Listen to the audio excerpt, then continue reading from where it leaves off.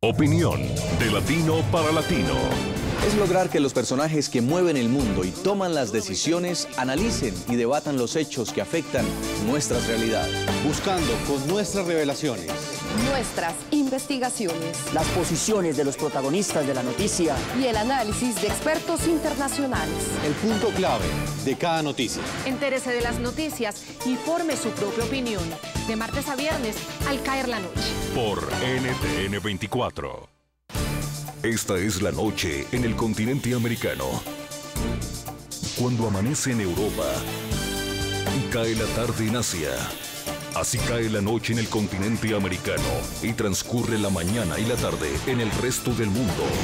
La noche bajo la dirección de Claudia Gurizati. Ni son protesta, ni son lucha, son destrucción.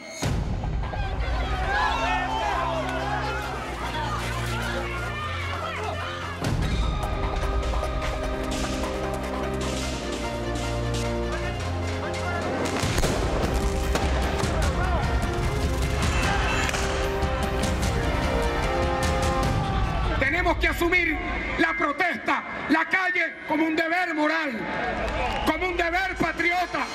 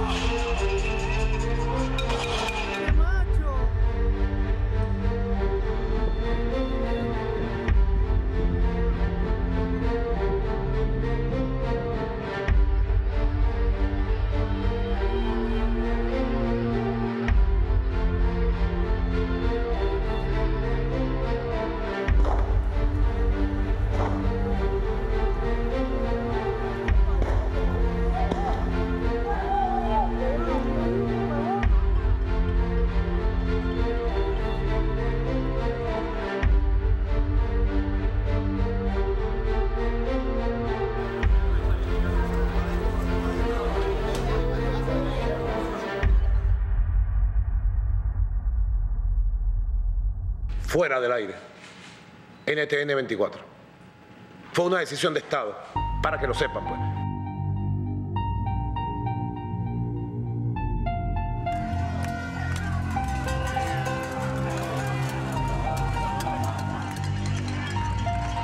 Contra la falta de alimentos, medicinas, insumos. Este país lo están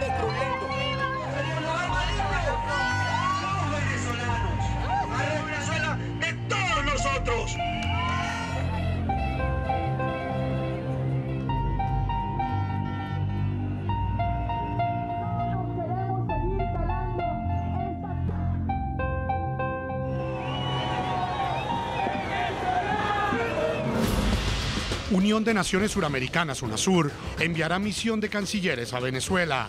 Instruir a la presidencia pro tempore de UNASUR a organizar en coordinación con los Estados miembros los trabajos de la Comisión de Cancilleres, cuyo primer encuentro deberá realizarse a más tardar la primera semana de abril.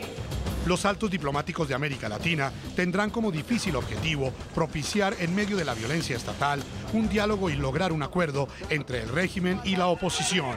Bienvenida a la comisión que elija UNASUR para venir a acompañar y a fortalecer el proceso de diálogo nacional, la conferencia de paz y todas las iniciativas para la defensa del sistema constitucional y del derecho a la paz de nuestro país. La asesoría fue acordada con una fuerte influencia y con el aval del gobierno venezolano al cumplirse un mes de las intensas protestas antigubernamentales cuya agresiva represión estatal ha dejado, según cifras oficiales, 28 muertos y 365 heridos. Maduro ha demostrado ser un dictador y se ha de alguna manera justificado con sus petrodólares para comprar la conciencia de América Latina. Pero todo eso tiene su límite. Se demuestra con esto una vez más que UNASUR fue creado sola, única y exclusivamente para que responda a los intereses de Chávez y hoy de Maduro. Hoy en el programa La Noche de NTN 24, el análisis de la misión que tendrá UNASUR en Venezuela, la incertidumbre y el escepticismo que genera por su cercanía con el régimen y las exigencias que recibirá la delegación internacional por parte de los sectores de oposición agredidos y los organismos defensores de derechos humanos del país bolivariano. Comienza la noche bajo la dirección de Claudia Gurizati. Buenas noches. La noche bajo la dirección de Claudia Gulsati enciende las luces para que usted vea el punto clave de la noticia. Soy Jefferson Beltrán. Bienvenidos. La noticia. Los cancilleres de los 12 países que conforman la Unión de Naciones Suramericanas aceptaron la invitación del presidente Nicolás Maduro. El mandatario en días anteriores había manifestado estar dispuesto a recibir una comisión de UNASUR que acompañara el modelo de diálogo que su régimen le ha propuesto a la oposición, que ya completa un mes protestando contra su gobierno en las calles bienvenida a la comisión que elija UNASUR para venir a acompañar y a fortalecer el proceso de diálogo nacional, la conferencia de paz y todas las iniciativas para la defensa del sistema constitucional y del derecho a la paz de nuestro país. Designar a solicitud del Gobierno de la República Bolivariana de Venezuela una comisión integrada por ministros de Relaciones Exteriores de los países de UNASUR para que en su nombre acompañe, apoye y asesore en un diálogo político amplio y constructivo orientado a recuperar la convivencia pacífica en Venezuela, considerando la Conferencia Nacional de Paz instalada. El punto clave de la noticia. Aunque no deja de ser positivo que una comisión de cancilleres entre a Venezuela para propiciar un diálogo entre las partes, resulta incierto si esta delegación reconocerá y valorará la situación tratando a ambas partes por igual. ¿Será que los ministros escucharán a quienes hoy no tienen la fuerza y por protestar pacíficamente son encarcelados y atacados por la Guardia Nacional? ¿Escucharán ellos a los presos políticos? ¿Exigirán quizás su liberación? O quizás esta comisión de cancilleres hará el triste papel de entenderse solo con el gobierno y omitir las demandas de la población inerme que realmente sí necesita de un acompañamiento internacional. Lo que hizo UNASUR ahora, en demorar casi un mes en enviar una comisión, demuestra claramente que los petrodólares del dictador Maduro sigue siendo influyente. El propósito ha sido de dar una, un paraguas para el hoy por ti, mañana por mí. Les digo que aquí estamos, que no nos abandonen, que nunca es tarde para reaccionar y para sentir apoyos de ellos, que hemos tenido un apoyo inmenso de los medios de comunicación y eso es un gran paso y que agradecemos cada esfuerzo y cada, y cada paso que puedan dar porque lo necesitamos. El punto clave de la noticia.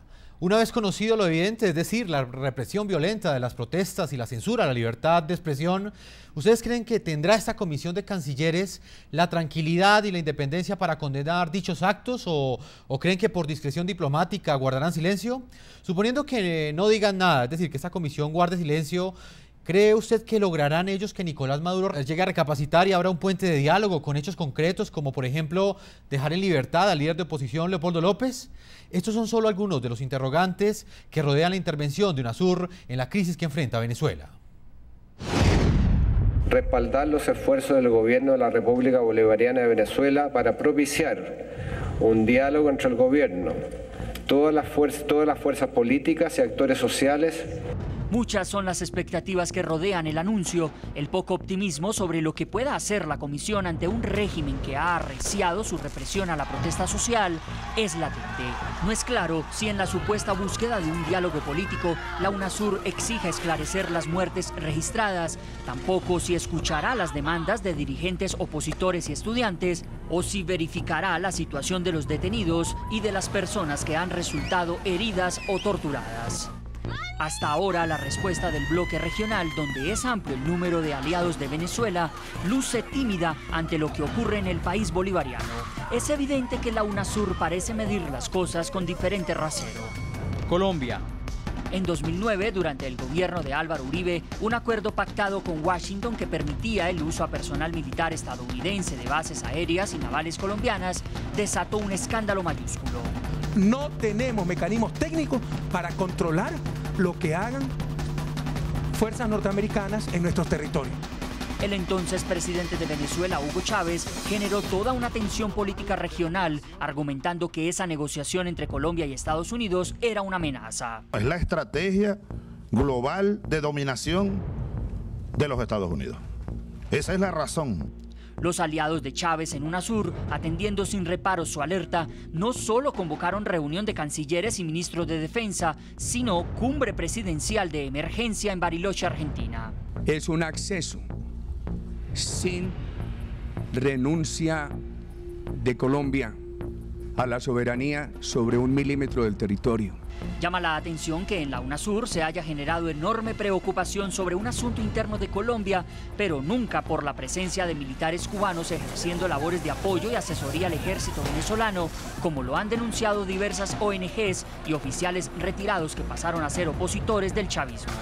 Honduras. Otro referente del contradictorio papel de la UNASUR ocurrió en Honduras el 28 de junio de 2009. El presidente Manuel Zelaya, reconocido por su cercanía y amistad con el fallecido Hugo Chávez, fue removido del cargo el día que había convocado a una consulta popular para instalar una asamblea constituyente. Los mandatarios de la UNASUR condenaron enérgicamente la destitución de Zelaya por parte del Congreso. En ese momento, el bloque instó a la comunidad internacional a adoptar medidas para el restablecimiento democrático en Honduras. Hoy, Venezuela, uno de los más influyentes de la UNASUR, paradójicamente se opone a que organismos como la OEA intervengan en su crisis, que por cierto cada día deja más estela de violencia. Paraguay, tras un desalojo que terminó con 17 personas muertas, la Cámara de Diputados de Paraguay en juicio político contra el presidente Fernando Lugo el 22 de junio de 2012 lo declaró culpable de mal desempeño y lo separó del cargo. Los legisladores defendieron su actuación bajo el amparo de las normas vigentes en su país, pero Lugo calificó el hecho como un golpe parlamentario. La UNASUR y el Mercosur no aceptaron tales argumentos y suspendieron a Paraguay. Hasta tanto se lleve a cabo eh, el proceso democrático que nuevamente instale en ese querido país la soberanía popular. Bolivia. Como una amenaza a la dignidad de Latinoamérica, fue calificado por mandatarios de la UNASUR el incidente que afrontó el presidente boliviano Evo Morales en un vuelo de regreso de Rusia el 2 de julio de 2013. Tras una reunión de emergencia en Cochabamba, los presidentes asistentes exigieron disculpas a cuatro países de Europa que habrían cerrado el espacio aéreo al avión oficial de Morales. Es extremadamente grave lo que ha ocurrido. Se ha destrozado el derecho consuetudinario. Paradójicamente, de aquellos que nos dan o quieren, pretenden darnos clases de luces, de derecho internacional, de seguridad jurídica. Vaya doble moral.